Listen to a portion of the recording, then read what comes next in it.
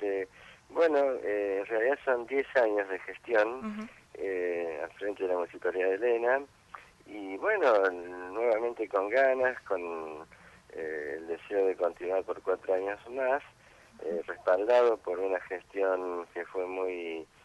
importante, por los logros, por el desarrollo que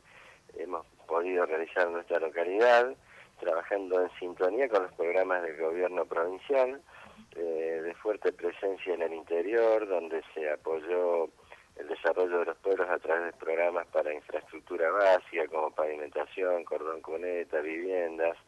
este, de manera que eso nos alienta y por supuesto también una nueva convocatoria en lo político partidario y un consenso general de la población eh, que me hizo tomar esta decisión, ¿no es cierto? Aclarando que yo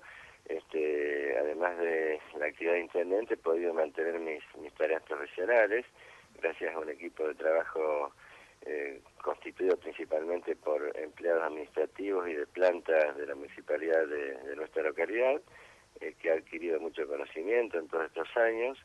y que, bueno, nosotros con mucha modestia exhibimos nuestros resultados, nuestros logros y decimos que,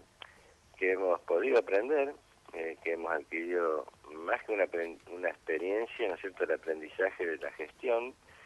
y, este, y vincular la gestión con la política, con las relaciones, eh, resolver problemas mm, eh, con las instituciones, con las empresas.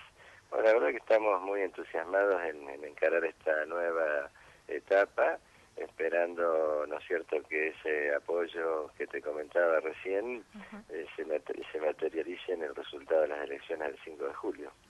¿Cuáles son los proyectos que presentan para la próxima el próximo mandato?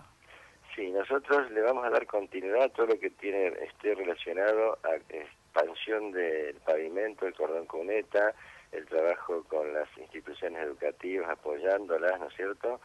este, y fomentando también la cultura, las escuelas de deporte, que son muchas ya, donde aquí se practica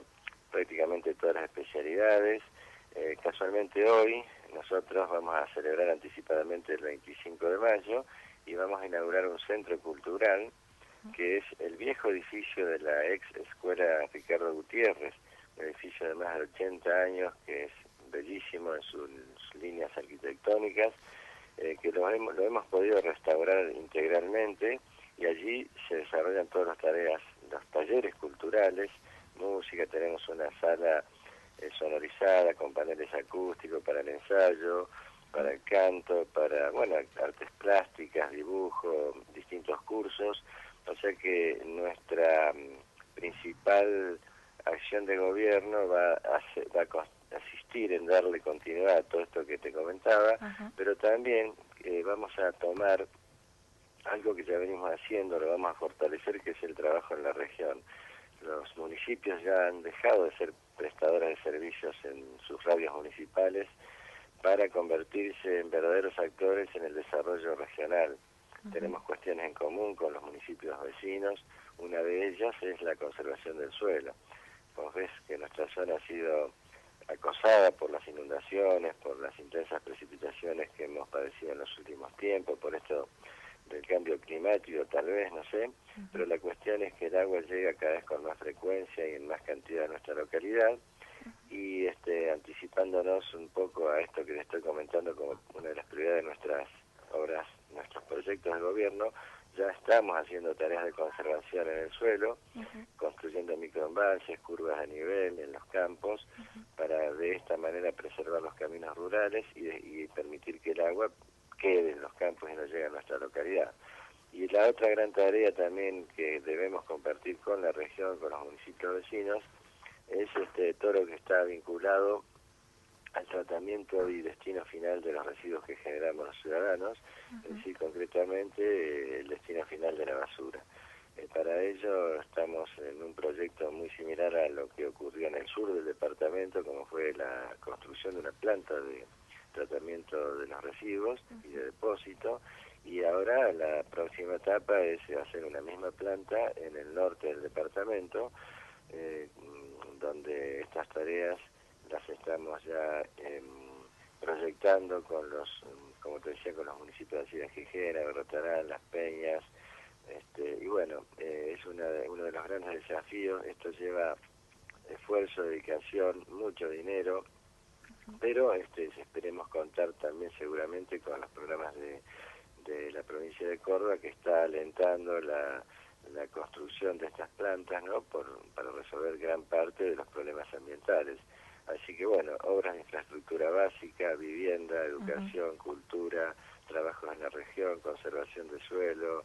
eh, destino final de los residuos son parte de nuestros proyectos, ¿no? de los tantos que uno en materia de seguridad, nosotros ya estamos anticipándonos a nuestras propuestas de campaña colocando cámaras, ¿no es cierto?, en, distintas, en distintos lugares de nuestra localidad, estratégicamente ubicados, trabajando con, en apoyo a la policía local,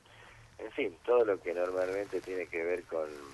el quehacer municipal, ¿no? Para, para generar bienestar a la gente, que en definitiva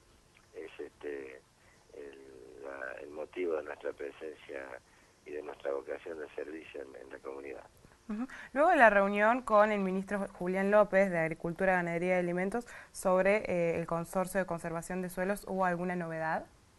Bueno, nosotros ya cumplimos el primer paso, que era presentar una nota de pedido de una maquinaria que necesitamos para intensificar las tareas, este, particularmente de terrazamiento en los campos, porque esta es una obra eh, muy demandada por los productores